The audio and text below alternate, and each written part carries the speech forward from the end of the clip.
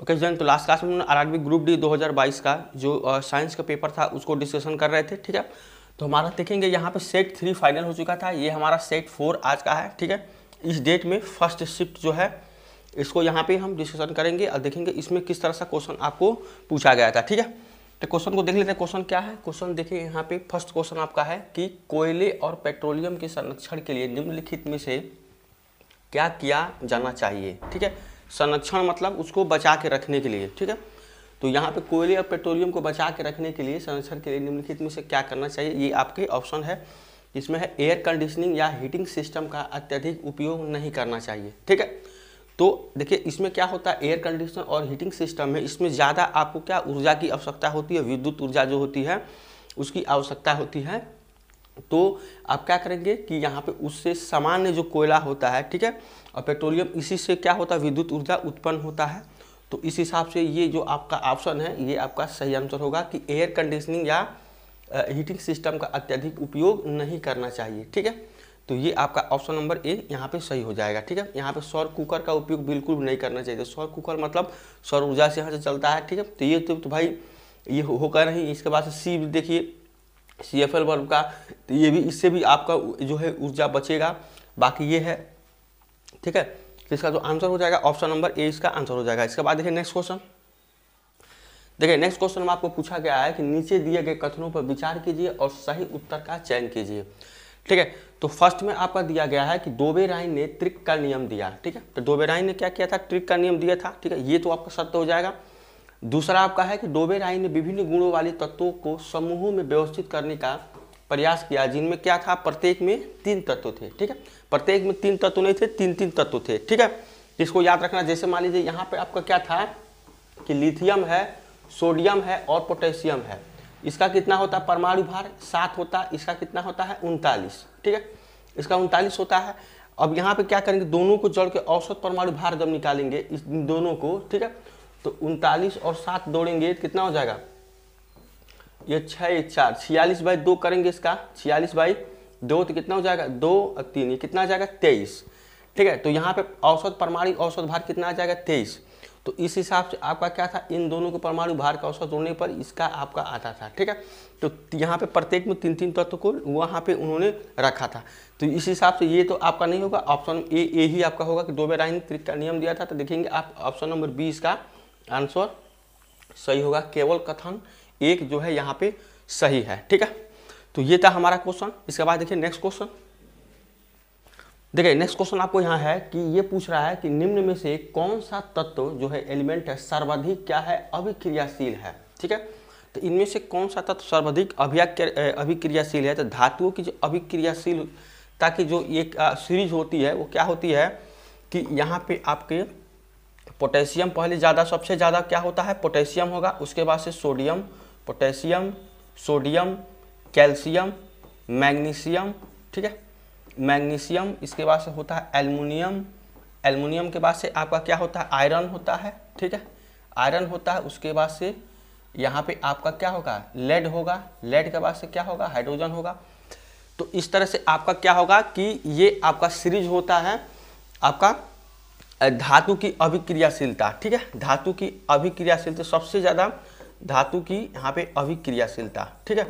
इसको याद रखिएगा, ये आपको इस तरह से होता है। ठीक है? कि सबसे ज़्यादा आप देखेंगे कि सबसे ज़्यादा इसमें क्या है? आपका सोडियम सोडियम तो दिया नहीं है, पोटेशियम भी नहीं दिया है, सोडियम, कैल्शियम, सबसे ज़्यादा इससे क्या है? कैल्शियम है। तो यहाँ पे सर्वाधिक अभिक्रियाशील क्या हो जाएगा? कैल्शियम हो जाएगा, ठीक है? ये आपका हो जाएगा ऑप्शन नंबर डी, इसका आंसर हो जाएगा, ठीक है? तो ये आपका सीरीज़ आपको इस तरह से याद होना चाहिए। यहीं से आपको क्वेश्चन उठा के पूछ देगा, ठीक है? सबसे कम अभिक्रियाशील कौन होगा इसमें? धातु में ये होता है आपका गोल्ड होता है ए यू ए यू सबसे गोल्ड होता है, सबसे पीछे में आता है ए यू गोल्ड होता है, ठीक है? आपके यहाँ पे ये कम अभिक्रियाशील होता है, ठीक है? इसको भी याद रखिएगा। ठीक है? तो ये आपका यहाँ पे पूछ रहा था, जो आंसर पूछ रहा था कि कैल्शियम होगा यहाँ पे। ठीक है, इसके बाद देखिए नेक्स्ट क्वेश्चन देखिए नेक्स्ट क्वेश्चन यहाँ पे है आपका, ये है कि एक अश्व शक्ति ठीक है, किसके बराबर होता है? तो देखिए, यहाँ पे आपको सात सौ छियालीस किलो वाट दिया है, सात सौ छियालीस जूल में दिया है। इसका आंसर होगा सात सौ छियालीस वाट होता है, ठीक है? एक अश्व शक्ति वन हॉर्स पावर, ये होता है आपका वन हॉर्स पावर 746 वाट के बराबर, ठीक है? तो इसको याद रखिएगा 746 वाट वन हॉर्स पावर होता है, ठीक है? इसका ऑप्शन नंबर डी इसका आंसर हो जाएगा। इसके बाद देखिए नेक्स्ट क्वेश्चन यहाँ पे आपका है। ये है कि निम्नांकित चित्र में प्रदर्शित बिंदु ए और बी के मध्य यहाँ पे आपको तुल्य प्रतिरोध बताना है, ठीक है? यहाँ पे फिगर दिया गया है ए और बी ए और बी इनके मध्य में तुल्य प्रतिरोध आपको बताना है। तो यहाँ पे देखेंगे, ये तीन ओर और तीन ओम किसमें है? श्रेणी में है, ठीक है? तो श्रेणी में क्रम में क्या होगा? आपको जब निकालेंगे तो तीन ओम तीन ओम क्या करेंगे? यहाँ पे ऐड कर देंगे। तो तीन प्लस तीन कितना हो जाएगा? ये छः ओम यहाँ पे आपका आ जाएगा कि यहाँ से अगर आप मान तुल प्रतिरोध निकालें आर डैश से इसको दिखा रहे हैं तो आर तुल प्रतिरोध, इसका इन दोनों का तुल प्रतिरोध कितना आ जाएगा? छः आर डैश इतना आ जाएगा।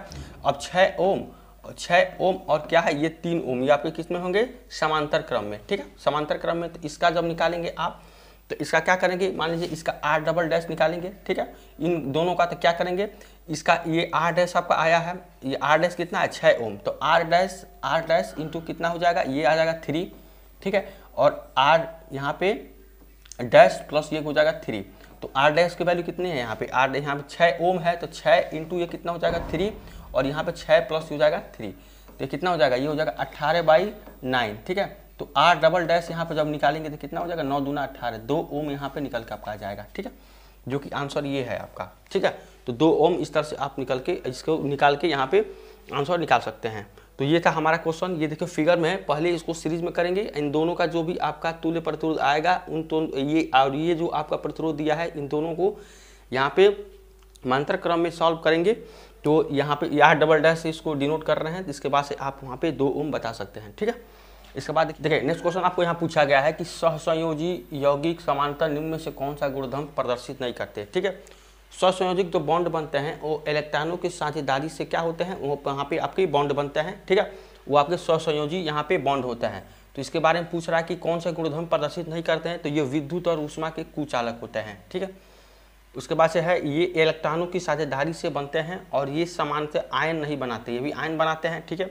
यहाँ पे आपके एक कार्बनिक विलायक में विलय नहीं होते हैं, ठीक है? तो ये आपका क्या हो जाएगा कि कौन सा गुणधर्म तो इसका ऑप्शन नंबर डी होगा कि ये कार्बनिक विलायक में विलय नहीं होते हैं, ठीक है? और यहाँ पे स्वसंयोजी बंद जैसे पता है कि ये इलेक्ट्रॉनों के साझेदारी से क्या करते हैं? बॉन्ड बनाते हैं। जैसे आप मेथेन ले लेंगे सी एस फोर ठीक है? सी टू एस सिक्स इस तरह से आपको क्या हो जाएगा? इसमें क्या होता है आपको कि ये इलेक्ट्रॉनों की साझेदारी से यहाँ पे बॉन्ड बनाते हैं, ठीक है? तो ये होते हैं स्वसंयोजिक बंध ठीक है? इसका ऑप्शन क्या हो जाएगा? ये कार्बनिक विलायक में विलय नहीं होते हैं। इसका ऑप्शन जो है कि जो इसमें प्रदर्शित ये आपको जो है ये गुणधर्म प्रदर्शित नहीं करते हैं जिसका ऑप्शन नंबर डी यहाँ पे होगा कि कार्बनिक विलायक में क्या होगा? ये विलय नहीं होता है। इसका ऑप्शन नंबर डी आंसर सही होगा। इसके बाद देखें नेक्स्ट क्वेश्चन देखिए नेक्स्ट क्वेश्चन आपको है कि डोबेराइन के त्रिक का उपलब्धि क्या थी? ठीक है डोबेराइन का जो त्रिक था ट्रिक नियम उसमें उप, उनका उपलब्धि क्या था कि अणुओं की परमाणुता का अध्ययन करने का पहला प्रयास ठीक है? उसके बाद है तत्वों के गुण धर्मों का परमाणु द्रव्यमानों के साथ जोड़ने का पहला प्रयास ठीक है? तो यहाँ पे परमाणु द्रव्यमान के साथ जोड़ने का प्रयास जो पहला प्रयास था ये इसका हो जाएगा ऑप्शन नंबर बी जो है आंसर हो जाएगा डोबराइन का, त्रिक का उपलब्धि क्या होगा? तत्वों के गुण धर्मों के परमाणु द्रव्यमानों के साथ जोड़ने का पहला प्रयास ये था आपका, ठीक है? इसका ऑप्शन नंबर बी आंसर हो जाएगा, ठीक है? देखिए नेक्स्ट क्वेश्चन आपको यहाँ पूछा गया है कि दो माध्यमों को पृथक करने वाले इंटरफेस पर आपतित एक प्रकाश किरण के मार्ग नीचे दिए गए चित्र में दर्शाया गया माध्यम बी के सापेक्ष माध्यम ए के अपवर्तनांक के बराबर है, ठीक है? तो यहाँ पे देखिए, ये आपका फिगर है, माध्यम ये मीडियम बी है, ये मीडियम ए है, ठीक है? तो माध्यम बी के, ठीक है तो ये होता है म्यू ए बी ठीक है? बी के सापेक्ष ए का अपवर्तनांक तो इतना हो जाएगा, ये हो जाएगा mu A by mu B ठीक है? और यहाँ पे देखेंगे म्यू ए जो ए है कितना है? 45 डिग्री, यानी कि ये हो जाएगा साइन 45 डिग्री और ये कितना हो जाएगा? साइन 30 डिग्री, ठीक है? यहाँ पे हो जाएगा साइन 30 डिग्री। साइन 45 का वैल्यू कितना होता है? वन बाई रूट टू ये हो जाएगा one by root two into ये हो जाएगा टू बाई वन ठीक है? तो ये हो जाएगा टू बाई रूट टू इसको रूट टू रूट टू से गुणा कर देंगे तो कितना हो जाएगा? यहाँ पे ये हो जाएगा टू रूट टू ठीक है? और ये हो जाएगा रूट टू रूट टू ये टू हो जाएगा टू से टू कैंसिल कर देंगे, कितना जाएगा? रूट क्या हो जाएगा ऑप्शन नंबर डी इसका आंसर हो जाएगा रूट टू इसका ऑप्शन हो जाएगा, ठीक है? तो इस तरह से आपको माध्यम ए बी के सापेक्ष ए का अपवर्तनांक यहाँ के बराबर आपको बताना था। तो इस तरह से सॉल्व करेंगे, ये आपका निकल के आ जाएगा रूट टू इसका आंसर हो जाएगा, ठीक है? इसके बाद देखिए नेक्स्ट क्वेश्चन देखिए नेक्स्ट क्वेश्चन आपको यहाँ पे है कि ब्लीचिंग पाउडर बनाने में शामिल सही रासायनिक अभिक्रिया की पहचान कीजिए, ठीक है? तो ब्लीचिंग पाउडर बनाने पे यहाँ पे सही रासायनिक अभिक्रिया की पहचान करना है। तो यहाँ पे देखेंगे, ये सब आपका है। ब्लीचिंग पाउडर का फार्मूला क्या होता है? सी ए ओ सी एल टू ठीक है? इस अभिक्रिया में देखिए, कहे ये ऑप्शन नंबर डी जो है, इसमें देखिए कैल्शियम हाइड्रोक्साइड है क्लोरीन से यहाँ पे जो है रिएक्शन कराया गया तो कैल्शियम यहाँ पे ऑक्सीक्लोराइड बना है ब्लीचिंग पाउडर ठीक है? इसको बोलते हैं यहाँ पे कि ये आपके ब्लीचिंग पाउडर ठीक है? ब्लीचिंग पाउडर है ये आपका।